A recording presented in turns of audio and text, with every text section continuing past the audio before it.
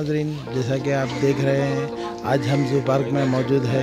Zoo park में जो अब्दुल्ला नामी जो चीता है, यहाँ पर 2012 में लाया गया था और इंडिया में दो जगह चीते मौजूद है, एक बेंगलोर, मैसूर और हैदराबाद में। हिंदुस्तान से चीतों की नस्ल को मालूम हुए 70 साल हो चुके हैं। ताहम नेहरू जूलॉजिकल पार्क हैदराबाद में 10 साल पहले सऊदी अरब की जानिब से तोहफे में दिया गया एक चीता मौजूद है। हैदराबाद में जब कॉप 11 समिट 2012 में मुनद हुआ था, उस वक्त सऊदी अरब के प्रिंस बंदर बिन साद बिन मोहम्मद अल सऊद ने अफ्रीकी बैरों और चीतों की दो जोड़ियाँ जू पार्क को तोहफे में दी थी। जू को ये जानवर national wild life research centre Saudi Arab की जानिब से 2013 में मौसू हुए थे। मादा चीता, जिसका नाम हब्बा था 2020 में आठ साल की उम्र में फौत हो गई।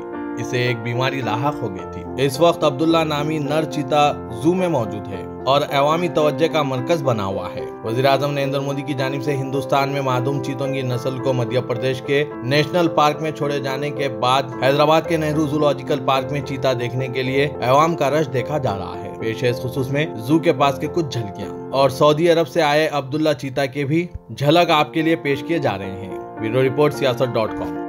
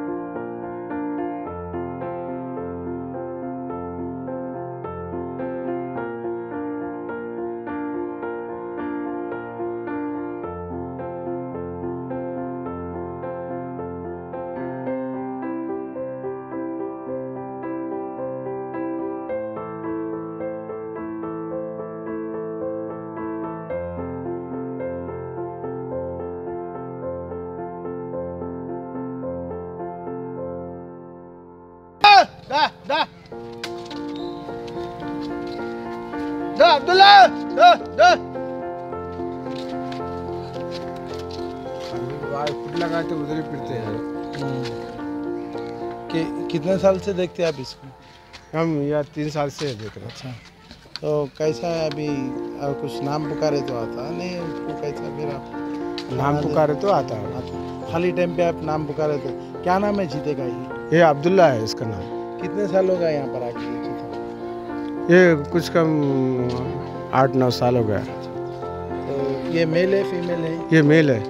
क्या खाता है ये? चिकन और गोश्त भी खाता बड़ा गोश्त। अच्छा कितना कितने किलो देते हैं डेली ये अढ़ाई से लेकर तीन किलो तक देते। हैं तो डेली क्या टाइम पे देते हैं? सुबह फोर फोर्टी फाइव शाम में। एक ही टाइम देते? हैं? सुबह एक अंडा आधा लीटर दूध देते। कितने चीते जू में पूरे ये? सीता एक ही से। एक ही एक ही। ये अच्छा ये हैदराबाद का है जू में ये एक ही है? एक ही है। आपका नाम? मेरा नाम हरीश व्यास है। हरीश साहब आज आप क्या देखने हैं मैं मैं ये जू के देखने आया कि, कि प्राणी लोग को कैसे लोग मेंटेन करते हैं जू कैसे मेंटेन करते हैं। और वही उनको वही देखने आया मैं। यहाँ की साफ़ सफ़ाई कैसी है हाँ नीट है एकदम क्लीन है। और अच्छा लगा मेरे को कि इतना क्लीननेस है। और बहुत अच्छा लगा।